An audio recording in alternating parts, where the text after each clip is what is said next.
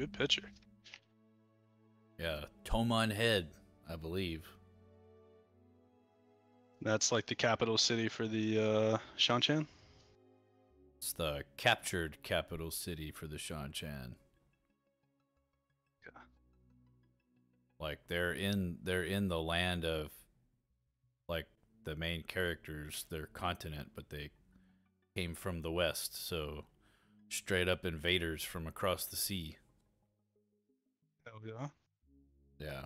I don't know if they made that clear. They kind of hinted at it, but not really like they're they didn't make it like super clear that they're invading the whole the whole country or whole continent. Yeah, that makes more sense.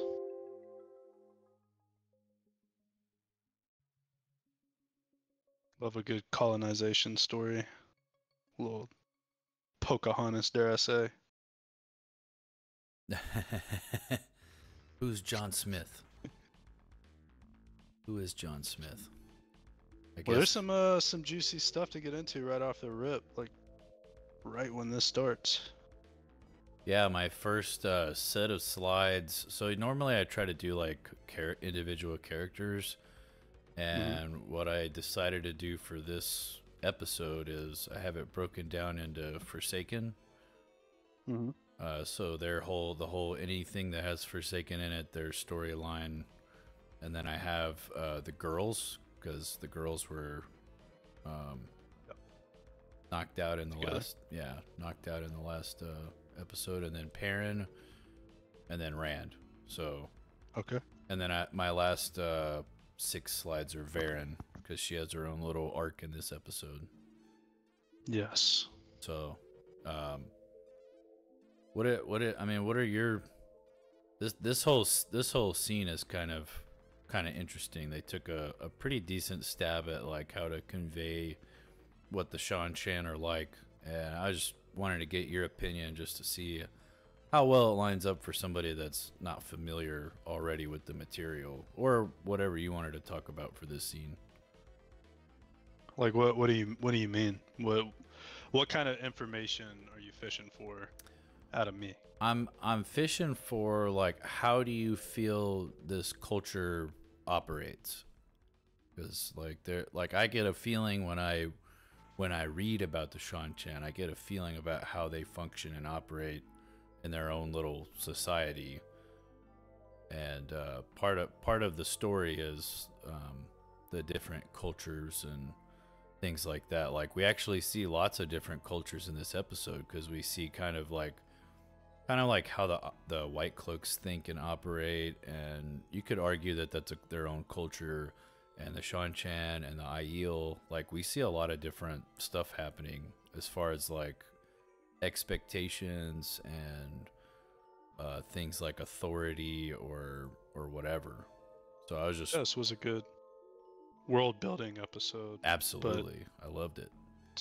So what I take away is I mean they, they have their own unique vibe culture there. I mean it is a culture, but I mean just a, a presence or a vibe you get from the Seanchan. But to me it's very similar to a not one for one, but kind of like a Roman or a massive colonization, even like the Mayans or the Aztec, where they come in, they fuck shit up, they take over, they make you submit.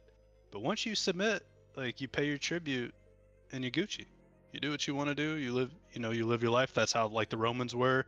Uh, you know, whenever they started accepting multiple religions within their country, like we don't care what you do as long as you know we're the top dog.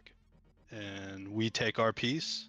And once we take our piece, you live the way you want.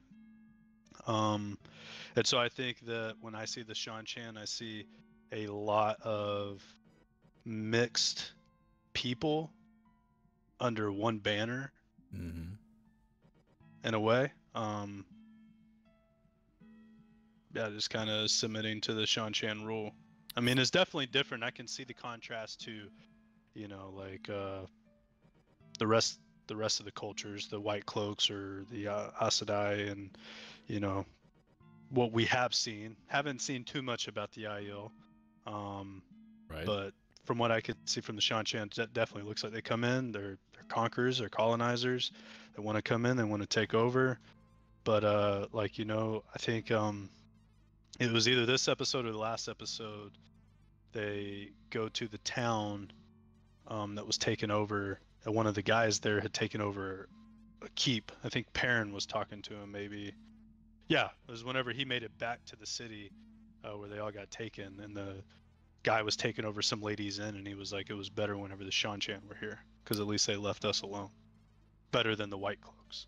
I I just want to say for the record that anybody that hates on the show but no, has read the books and understands the Seanchan, this is not this is not uh, more than maybe like 10% off of what they're like. So the fact that you pulled that basically flat footed, because I didn't prepare you for that question at all, like that answer is pretty damn close. Like there's some some uh, detailed things that you know we could we could kind of I could quote unquote educate you on on what the book is like, but they portrayed the Seanchan pretty well if that's what you're gathering from it. That means that like the show watchers are getting the same message just delivered differently than what the book than what the book is like. I I can't tell you how happy that makes me. Like every time I doubt, every time I see a post on Facebook dumping on the show and I'm you know, I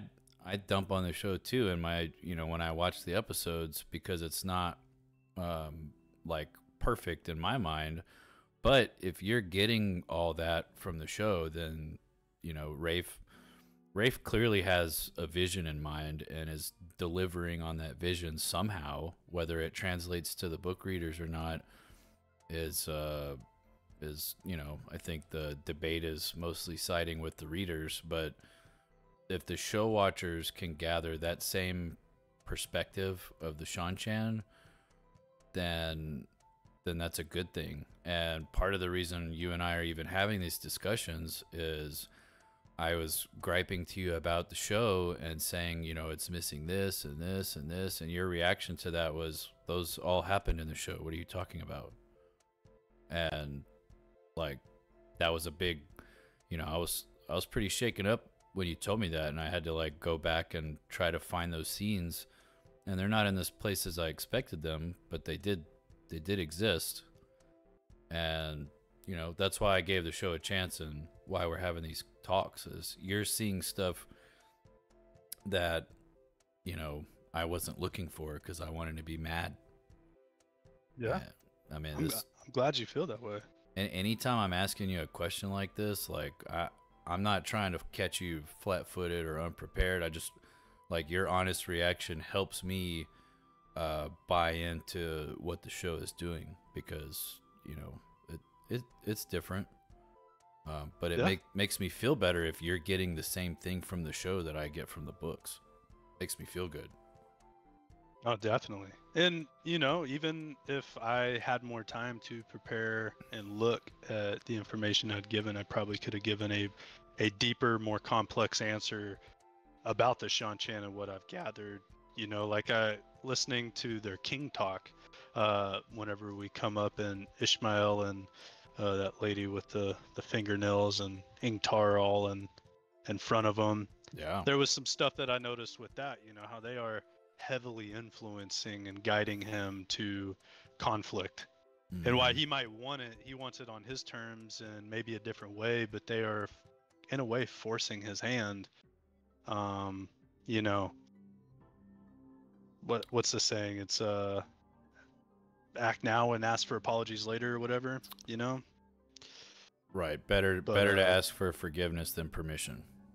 Yeah, exactly. And this scene right here was was pretty cool. Gave a lot of uh maybe not a lot, but it gave me a better understanding of the Seanchan when, you know, you see him the king, Turak, Lord Turak, he's kind of upset that they went out to that city uh, you know that's beyond their reach.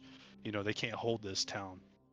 Obviously, they didn't take it in the name of the Seanchan. Officially, they did, but it was really more so uh, for her and Ishmael, uh, which I think was all to lead to a certain moment.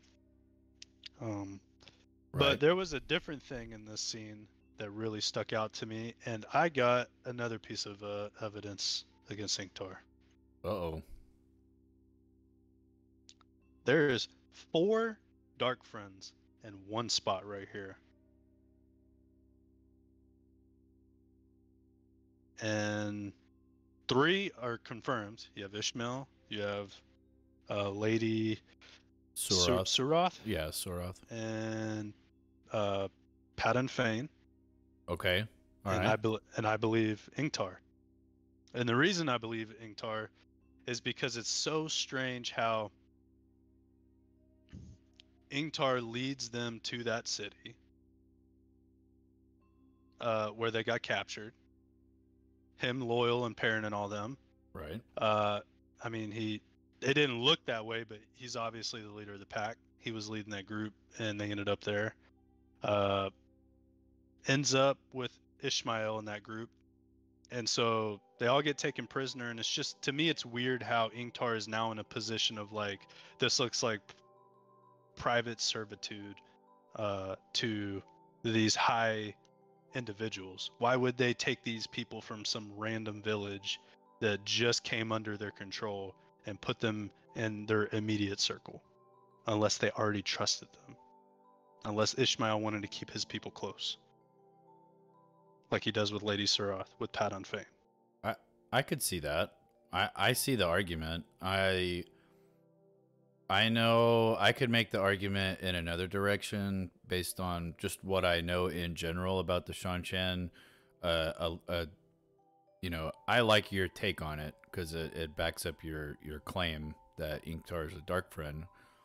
Um, you know, and I I I feel like it's a you're you're building a pretty good groundwork for for all of that. Uh, the only thing that I would, uh, the only thing that I know about this this servant position is a lot of people are put in that position that have status and titles in the lands that are conquered. So, like a lot of like he's a he's some kind of commander from the borderlands. That's that would be a prized like if you could get him to be a servant that would lift up the Shan in their eyes. And an Ogier is unique in this in this version of the story, and making him a, a servant is is seen as like a, a way to raise status. So like I see what you're saying and I agree with it, and that's probably the way the show intended it. Uh, but them being made servants makes perfect sense to me, uh, not necessarily for like dark friend reasons. yeah for sure Um, but yeah, I, I like your take. Um,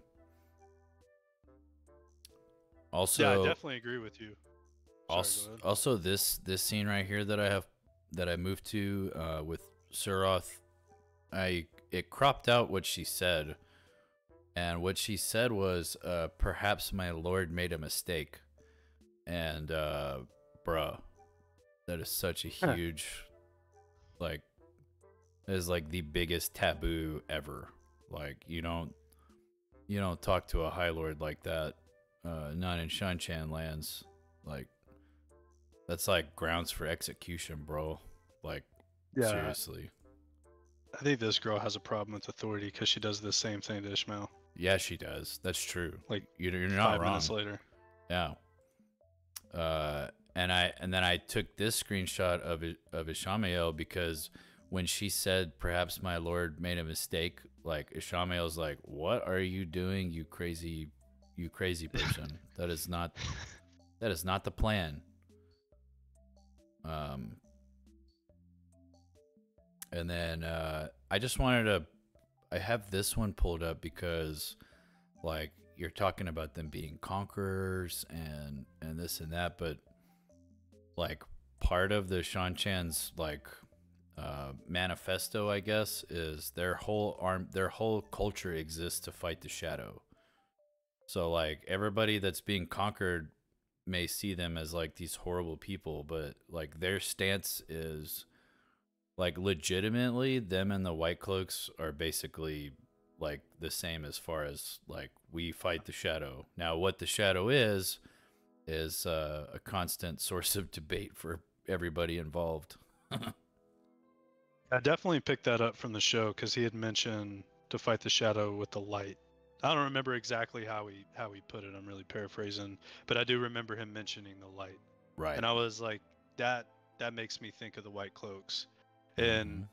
that that kind of made me see them as a colonizer, like a Rome or the Mayans or something, where they want to unite everybody to fight the dark, but under their rule, because they they think that that's the only way that they can win is to unite everybody and move as one force. So that did come across to me in the show. that excellent. That was their purpose and their drive. That's that's excellent. I mean, Um, Lord Lord Turak says it right here in this scene. Does he? Okay, I'm I'm almost there to where he's at. Um, I did want to did want to see what you thought about this because, like, High Lady Suroth and Turak have these gross. very long fingernails, and to me they look um, to me they look fake. I don't know if the intention is to make those little gold pieces around the finger like just um, decorative, and they're supposed to hold the fingernails, or if these are supposed to be like you just get to put them on. Like I don't know what the impression was that you got because like Turak looks really awkward in them, and uh, I just didn't know what your impression was. Yeah, so I think that, you know, in this world, they're probably real. Yes. But when you're dealing with actresses and actors, you have to take some liberties and some props. And right. so they put those fake fingernails on them and they use the gold uh, to look like decoration, but in reality, it anchors the long fingernails on them because it'd probably be extremely hard to find a glue that's strong enough to glue them down without really fucking their fingers up in the long term. Right. Um, and so, you know, it does look a little off to me, but that's one of those things I chalk up to just stretch your imagination a little bit. Yeah. Yeah, I just wanted to just wanted to touch on that like just a little bit. Like it's not even like those are supposed to be real. So like getting your fingernails chopped off and uh the long fingernails obviously they take a long time to grow. So like the length of your fingernails, how many are long is all a way for like Seanchan to see like instant where you stand in the in the pecking order, I guess. So like having her stuff get chopped off is brutal. Like, damn. Yeah, he sent her away. Was like, I don't want to see you until you're presentable. Yeah. Um. And then uh, this was interesting too because Ishamael talking to the to Turak is kind of I don't know. I feel like I feel like he would have got yelled at, but you know they're they're taking some liberties, and I think I think it's okay. Um, and the this scene this scene plays out a little different, but I did I did kind of um, I I just love watching Pot Fane walk because he's got that that gigantic swagger. Yeah. This this guy needs to be wearing gray sweatpants. You know what I mean? he needs a long fur coat. It's like a feather in that hat. Maybe That's your hose right. will give you some more respect. That's right. It's a little Dukes and Hazzard. uh, let's see. Yeah. This, Man, I'm uh, really, I'm hair, really hair upset. and blade master right here. Yeah, I'm, I'm upset that it's cutting, cropping out of my, cropping out my, um, my dang, um, what do you call it? I'm upset that it's cropping out my, um, captions or whatever. Try something. Ah, shoot.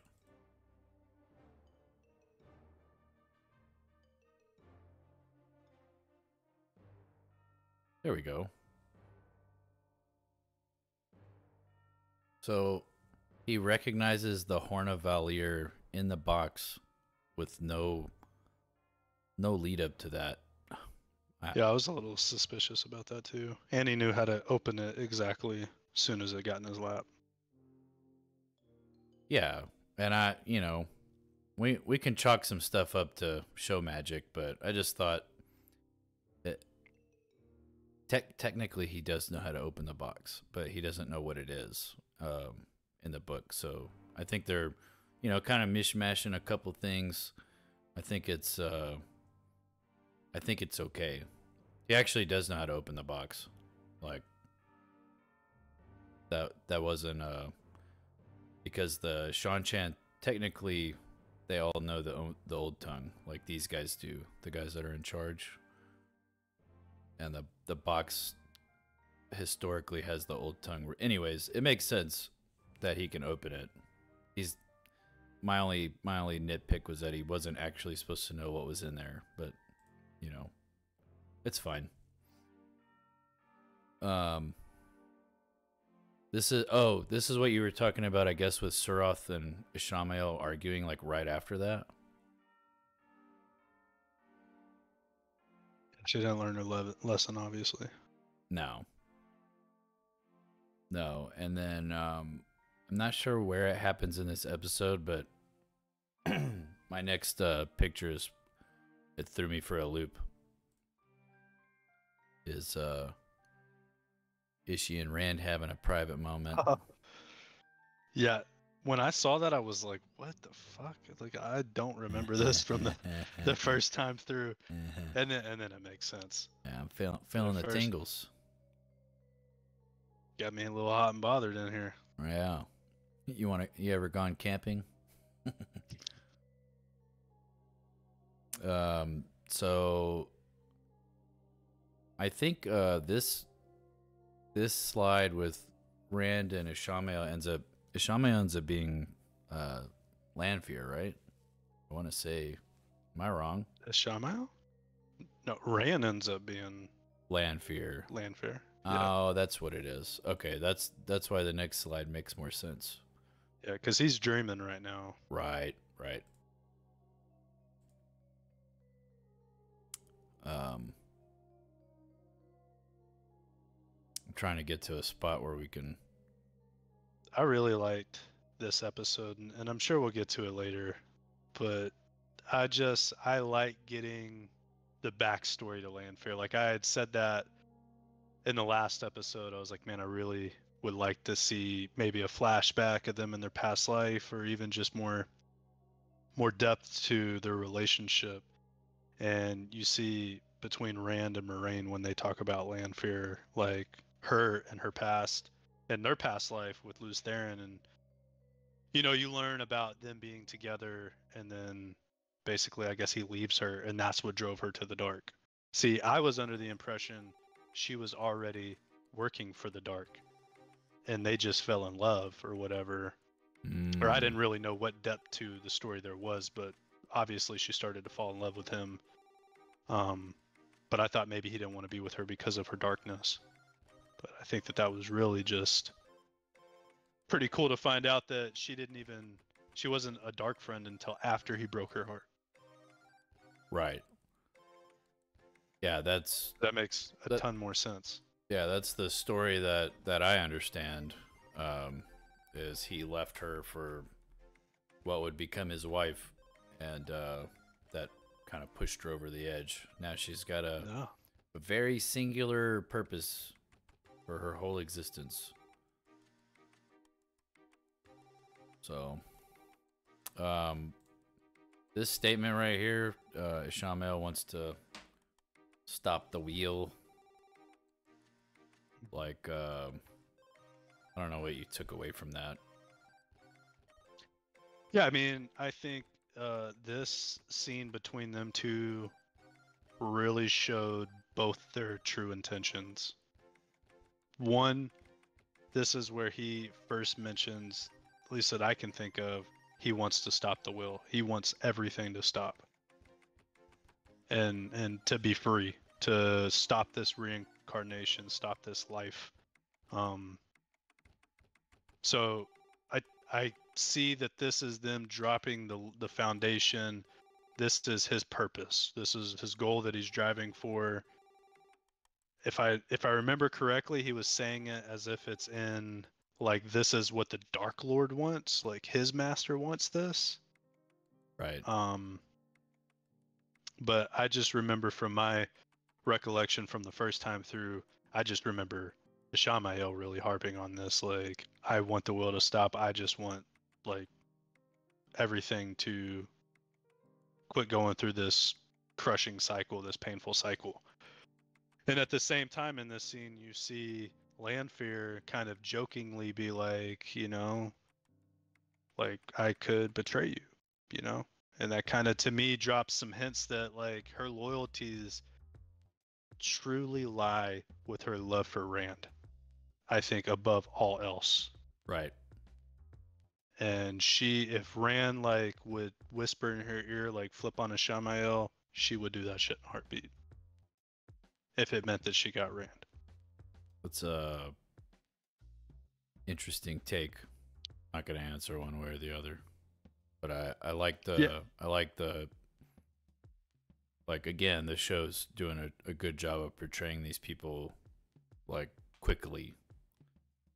that was something that I took away at the end of the first season because you kind of go along with Lanfear and in the book there's some things she doesn't do that she does in the show where like she's with Moiraine and ran through the way gates and whatnot and like involved in the story but you kind of get this a little bit like Mat where she has these moments of uh, redeemable traits Right. and you see that like yes she is 100% a savage and ruthless but you can see that she truly wants rand and that is what's important to her even over her own um cruelty you know Right. maybe i'm i'm making the i'm making this more complicated than it needs to be but i'm just saying that that is something that i took away from the first time i watched this was Lanfear to me seems like of all the dark friends the one that's loyalties don't truly lie with the dark lord it lies with rand but if she doesn't get rand then she'll you know use them to get to him Right. No, I I think uh I think you got Lanfear nailed down pretty much, and that's good. I mean, that's that's what I want. Um I really want to skip this slide because it makes me angry, but um Yeah, I I would like if we could to go next into the um I mean we can wrap this up however you want, but just the next subject to kind of be the uh Elyas Perrin um stuff. Uh and Dain Um, Bornhald. yeah, I could do that. Um I'm just going to skip through the the girl slides and we can come back to them. Okay.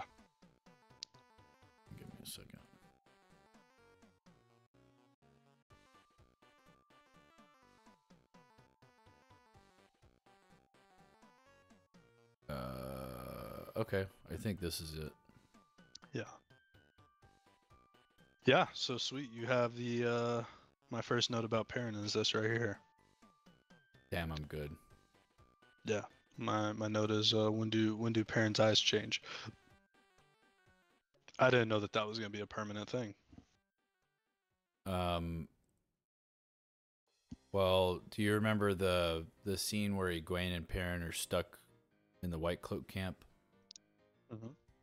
So that's like the events unfold a little differently, but pretty much from that moment on, his eyes are golden. It's a constant source of uh, discomfort for Perrin because he always feels like everybody's looking at his eyes instead of him. Yeah, well, your eyes are gold, dog. That's gonna draw some attention. Yeah, it kind of like the golden eyes. Um, he's not afraid to go into a town, uh, but it, he's kind of defensive about it. Like he's constantly expecting somebody to like lash out. I guess. Yeah. Um. let's see. Something that came up right after this was, I think I think it might be a couple slides, uh, but Elyas says that the two river folk and his wife were not his pack, and This I one? felt like that was, yeah. It just made me stop to think like that's that's an important thing for Elyas to say. Um, because obviously, you know, Perrin comes from the two rivers. Why? I mean, I get it. He's got the ties to the the Wolf brothers or whatever, but uh, it just it's something that makes me think as to why he would say that to him, even his wife. You know, that's a mate that he chose. Was he expecting him to do choose a wolf? Like, some bestiality stuff. I I don't quite understand unless there's like wolf brother women out there. Uh, not to my knowledge. And uh, remember, remember, his wife does doesn't exist in the books, so they're kind of Yeah. Uh, I did see an interesting theory that um, that Laila was a dark friend, and her dying was not part of the plan. Ooh, okay. I saw a theory about it, but I don't know. I mean, she was also pregnant with Perrin's kid allegedly, so I think we Yeah. gathered enough clues for that. But you know, I don't know. No, this doesn't. Uh, this kind of straightforward conversation doesn't really happen. So I don't. I don't. I don't have an answer one way or the other. Um, No, but I think it just adds to the mystery or the mystery Yeah. of like what is Perrin? Where does he come from? Why is this? I feel like all these people end up in the two rivers and they come from this place, but yet none of them do. Right. Nynaeve is an orphan. Right. Rand's an orphan. Perrin is obviously this like wolf hybrid that sees visions, and his pack now is telling him that he doesn't belong to the two rivers. And I'm like, "O- okay, so the only one that does is Mat and Egwene, I guess. Like, Uh, you know, I don't. I don't know where the takes away from their identity. Yeah, I don't know where the show's gonna take it. I mean, uh, Rand being the dragon and Egwene uh, going in the direction she's going, Nynaeve, like all these characters going in the direction they're going. Like, um, I don't think any of them like traditionally like break their bond and say I'm I'm never going home. But yeah, like in the direction that they're heading a lot of them aren't uh so like i i can kind of see what Elyas is trying to say here but um maybe it was just like uh like maybe they were trying to get something across that is just one of those things that didn't didn't uh translate well so i you know i'm not worried about it um I No, do. He does. He it's a problem. does. He does say this too. You can't run from what you are, boy. Which is, uh, which is true. Can't can't get out of Is it. he a werewolf? Uh, no, not not quite. Not a, they can't, bro. If they shape change, I will never watch another episode. That'd be funny as shit. I would be infuriated through the roof. I'd just turn my turn the stream off and never watch it again. Um I did uh what is this? That's him looking at Uno in a cage. Oh. Oh yeah, you're right. They never buried him. This is uh right whenever he's about to break up break open Uno's cages when he meets the Aiel woman. Is that how you would say it? It's Yeah. not Aielman. Right. She's Aiel, so she would be an Aiel woman. Yeah, I've just I've heard it like they call him Aielman so much that I just assume that that's like their their name, their title. Right. I hope you I hope you continue to read the books because I really want you to meet the person that's supposed to be in this cage because it's such a good character. Like, this is one of those things where the show kind of had to mash things together to make it work, and that's fine. Mm-hmm. But I really, I really hope you continue to read and get to this, essentially, this scene and meet who it's supposed to be because uh, it's one of my, it's one of my favorite characters in the whole, in the whole series. There's like, Who is it? huh? Who is it? His name is Gaul, G A U L. Yeah, Gaul. Okay. And uh, he's him and Perrin are they stick together all the way to the end. So it's it's a good it's a good relationship. I hope they bring him into the show at some point. Uh, just because I I like I like the relationship that's portrayed, and uh, they can't have Aviendha fill that role. Aviendha is a true character from the book. Aviendha is a true character from the book. Yes. She interact with Perrin at all?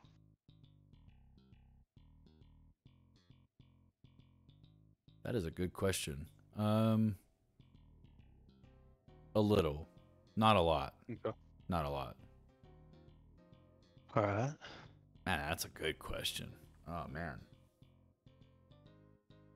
I'm gonna stick with my answer. Not a lot, not enough to, uh, not enough for me to know exactly when and where, but yes. Um, then we Perrin gets over to uh Dain. I love Dain. Dain's Dude, he's he's great. They did a good job on him. I've got some I've got some weird vibes from this dude. Yeah. Why is that? Yeah, not not like uh Dark Friend cuz I I'm going to get the uh the boy who cried wolf. I'm gonna just to start labeling everybody as a dark friend. But makes- no, just uh make you a good white cloak. yeah, I'd be I'd be a good questioner. yeah. No, I just uh I like the little subtleties of his character that it's like he's this very I feel like when he meets Perrin they have a very genuine uh meeting with each other for the first time. I Uh, I agree. you know, and you know he kind of plays dumb because Perrin doesn't know that he's a white cloak because he's obviously wearing a big cloak over his white cloak. Um, Right. and they make it back and they have their conversation, and Perrin hears Child Valda in the back, or maybe I don't think he heard him. Maybe he just saw some white cloaks, and so he starts freaking out. And then he sees uh, Dain's white cloak, and he kind of gets a little nervous.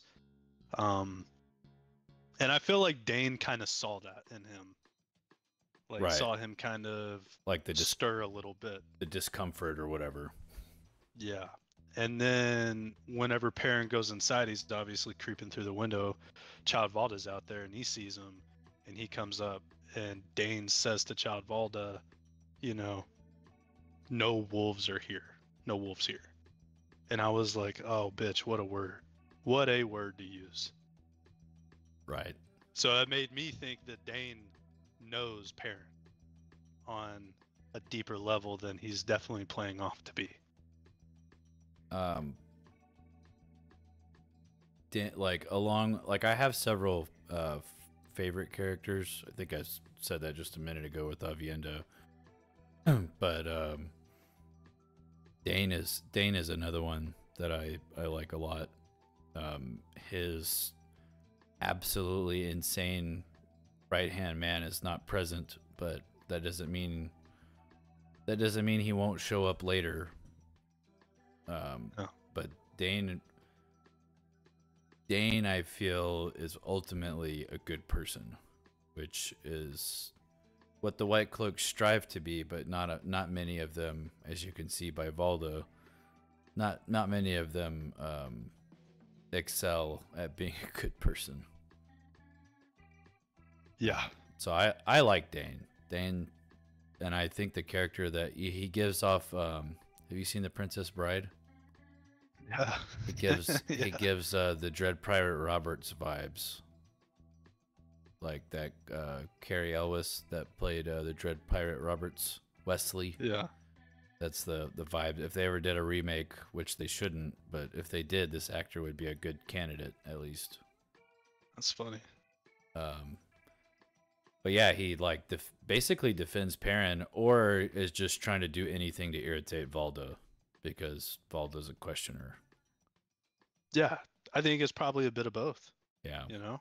I did. Uh, props to the costume department. That red uh, snake that is in the shape of a shepherd's crook around the sunburst mhm. is uh, probably like 95% of what I envision in my head of the questioner's like logo, I guess. Hell yeah, good on them. I just uh I I just think that there's usually purpose to everything that they put in the show. And him saying no wolves here, I feel like is a little detail that that has a deeper meaning to it. It could. I mean, we don't we don't know exactly where the show's going. My theory on that, uh, since you brought it up, is that um, Dain knew knew or heard about Valda's um, attack, where he get he gets attacked by the camp gets attacked by wolves. Thus, To me, it's like a little dig. Like, no worries, Valda. There's no wo- there's no puppies here to worry about. Mm, that's a good point. Okay. Uh, that's what I took from it. Just knee jerk, Gotcha. just knee jerk reaction. Um,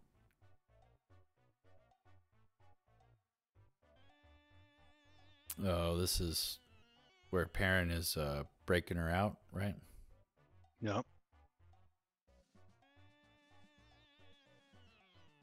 This whole this whole interplay, I think, is um, it misses a little bit for me specifically, uh, but it was really close. I think it was just a little overdone, and we can talk about it if you if you really want to, but it's not like that important because there's not a lot of Aiel in this season. Um, I did want to, I do want to talk about this because I made sure I took a screenshot of uh, Aviendha's face when Perrin's like panicking and like, "I'll protect you," and uh, Aviendha's like, "Yeah, right, boy, whatever." and uh, and then like when she, uh, I, I actually did get chills uh, I got him just now again thinking about it. I, I did get chills when Aviendha said, uh, "Do you like to dance?" Because the Aiel call that call fighting the dance of spears. So She put on her black uh black mask. Yeah, I actually hope they put the chant. Uh, I hope they put the chant in the show at some point. It's uh, like when you dance the spears, there's like a chant that they do, and it's pretty good. So, but yeah, this scene right here was done well. Like everything after she stops talking, basically, because like she basically knocks out everybody Yeah. by herself. I think Perrin helps a little. Um, but I, I enjoyed the choreography, and it uh, it is consistent because if you think back to like the scene with Rand's mom, she was able to kill Mhm. like four people while fully pregnant, and this is Aviendha not pregnant, but she has been in a cage for a while, uh, dehydrated, gets up, stretches for a few minutes, and then proceeds to whoop ass. Yeah. Like that was that was good, good and consistent. Yeah, I mean it was uh she's a fucking stud muffin. Hundred percent. Yeah, I love Aviendha. She's great. There was a something that she did say before we move on from Perrin. Um, that she said to Perrin when they they were out of this. I think it was the next morning. Um, when they were talking, it I think Perrin was asking her like, what what was she doing there? And she was like, I was looking for the the Car'a'carn, yeah, yeah. the Car'a'carn. uh, the chief of chiefs. hmm And I was like, hmm. Because I remember you talking about how everybody had prophecies, and I was like, is this a prophecy? Is she really looking for like an actual person, like a dude that's already the Car'a'carn, or is she out there like looking for, you know, their their king? Uh, and is that is that Rand? Excellent question. That's what I thought when I saw this. Kind of spoiled when you get to episode eight, but yeah, that's a good question. Um, the this whole this whole plot line, um, So I will say that in the books, everything related to prophecy is kind of like treated with like like a level of uh like lack of seriousness. Like I want to Mhm. say the word like blase because the the author the one of the author's like whole points is that the prophecies have to be fulfilled. So like at some point in the series, uh, Rand literally says, um, "I might as well go fulfill this one while I'm at it." to, to somebody, to somebody's prophecy, and it was just it was it was funny because at that point, like enough has happened in the books where you're like, "All right, this is this is the dude," and so he goes and like fulfills like two or three back to back and then he like looks at whoever it was that he's irritated with and he's like see? What like what more do you want from me? But uh yeah she's searching for the Car'a'carn. they don't have kings but they do have chiefs of their individual tri or clans and uh, this is the chief of chiefs so i hope we get to see some i hope we get to see an Aiel clan chief next season because that's important for for that to happen Yeah, I think we will. I, I think, think we're gonna see somewhere new because they filmed so much in South Africa.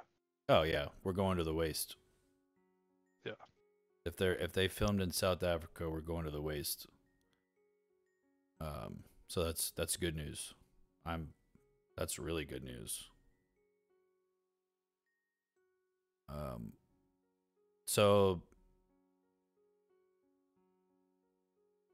I know what they I know what the directors tried to do with with the way the Aiel speak to wetlanders and uh, I'll probably do like a solo stream or like a nitpicky or just like uh, I would like to see it done different stream addressing like all of these little quirks or whatever.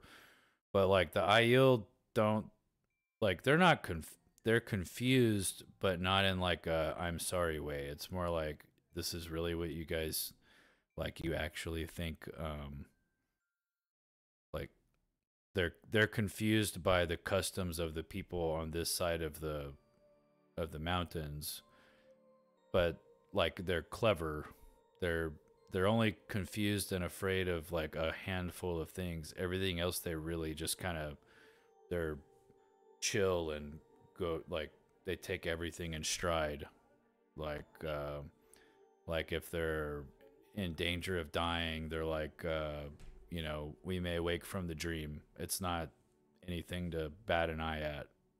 Like everything is very, very stoic, I guess is the right word. And if you don't know what that means, you can look it up. But like, Wow, what a dick move! I was talking, I was gonna put that on uh, YouTube. What do you mean? What a dick move! Stoicism.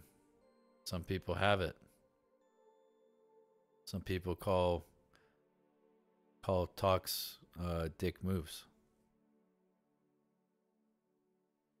Uh. We'll let the people decide. Yeah, get in the comments. Um, no, but like I, it's so hard to explain. I'm not surprised that the it it's like missing just a just a little bit.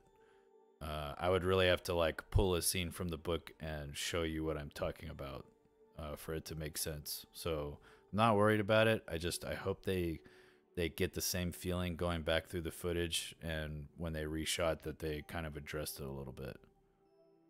Yeah. Um, Makes sense. Anyways, do you want to talk about the girls or do you want to talk about uh, Rand next? Or ac- Uh, actually, we might need to stop here soon because it's already six fifty. Yeah, how about we just wrap up with Verin? It's a quick Okay. arc. Yeah, let me get over there to her.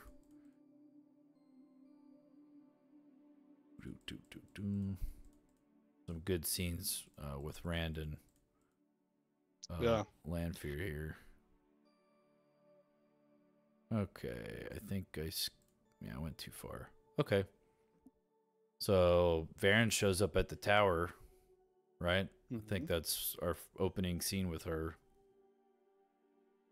And uh I just got to say, like, I like the interaction of her with the other Brown sisters. with uh, Yasuka and Naomi. Yeah, Yeah. yeah.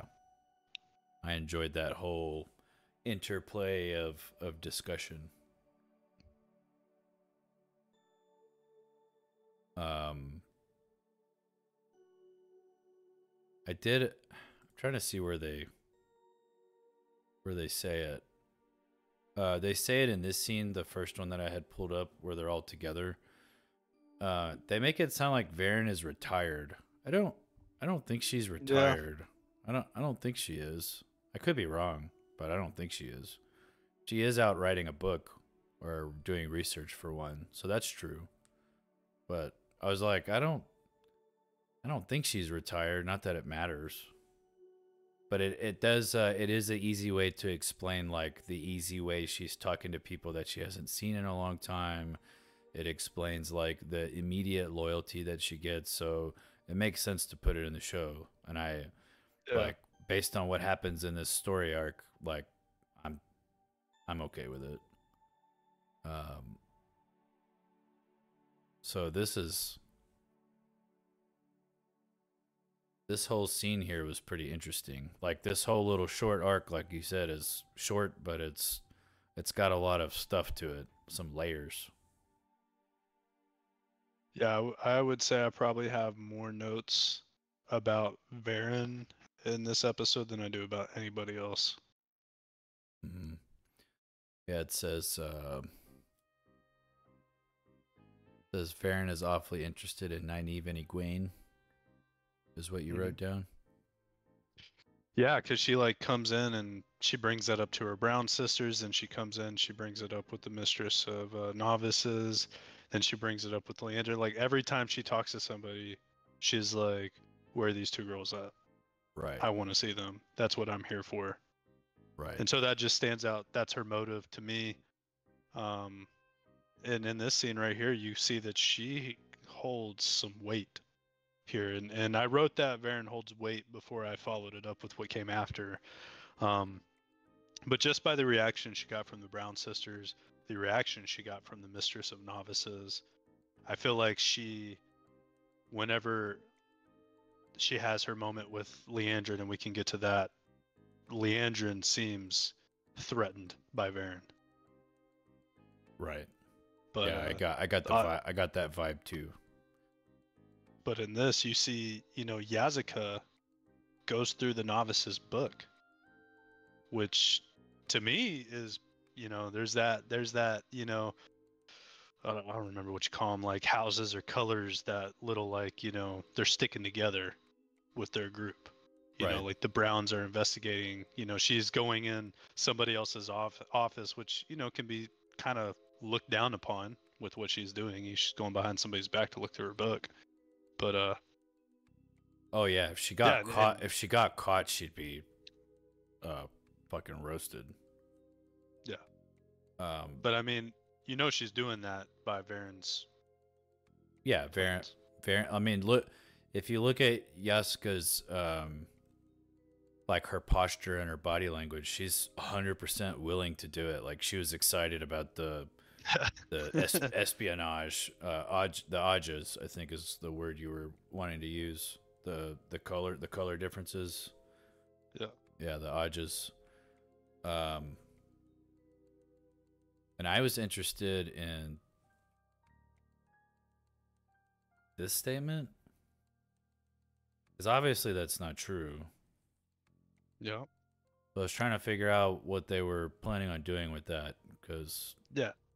So I think Liandrin used compulsion on um the mistress of novices to write that. okay because that they do Because- talk about like the handwriting being a little different or something. Mm-hmm. Mm-hmm. And Verin is the one that brings it up, and she was like, "Do you think it could be somebody used compulsion on her Oh, I have the to write that?" I have the slide for it. Damn, I'm good. Yeah. Um, yeah, that may I mean that makes sense. At least they explain it. I don't like hearing Aes Sedai tell uh, straight up lies because it raises lots Yeah. of red flags. Um, by the way, we talk about like um people being people being mentioned. Um, Elayne's brother Gawyn. Gawyn is uh, Gawyn and Elayne also have a brother named Galad. So they haven't name dropped him yet, but I'm uh, if if Gawyn is coming into the picture at some point, it's gonna be interesting. I I like him a lot. A lot of people hate his guts, but I like him. Sweet. Um, and then compulsion. Hmm. Oh, that's right. Because they, when they talk, she's like, uh, "How is that possible? There's no way you could use a weave of compulsion." So, uh, and I didn't get a, I didn't get a good picture of Verin and Liandrin, but uh, I got, I tried to capture like Verin's face of like, "Are you serious right now?" Because uh, I don't remember what they were talking about, but Verin's like, uh, "I doubt, I doubt what you're saying." Yeah, that was the, the last note I had. Was uh, Verin doesn't buy Liandrin's bullshit. And what what she was doing was she was asking Liandrin about the girls, and she was like, "Oh yeah, you know, like I don't know what happened to him, blah blah blah." And she was like, Verin was like, "Huh, well, I saw that they were signed out to go to a name day ceremony." And then Liandrin was like, "Oh, well, I heard on the road that like there was a caravan that was attacked." Oh, we that's should we should right. go. We should go. And then she was like running away, and she looked back at Verin and she was like, "What are you doing? Let's go." And Verin was like, "Bitch, like I I see what you're doing. I see what you're doing." And you could see it on Leandra's face. Like I I think that she felt threatened. Yeah. And I mean, kudos to the actress because she's getting that across to me. You know, I feel like I'm seeing that in her. Oh yeah, the the the skill level of the actresses and the actors in this show as a whole are like they're doing a great job. And I want to say that a lot of it is like the actors themselves, but also the direction. They don't know to make those faces unless somebody tells them to. So, Yeah. like, good, good on them. Uh, I, I'm really excited to finish this episode, um, but we'll have to we'll have to cut it short for right now.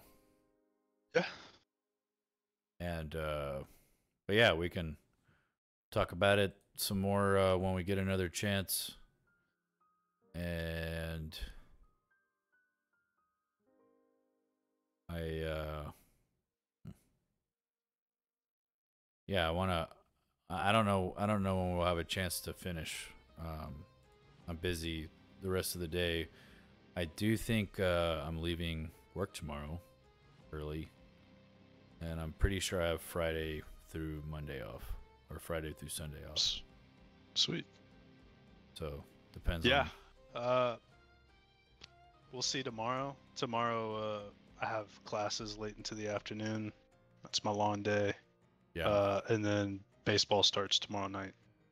It's opening day of baseball.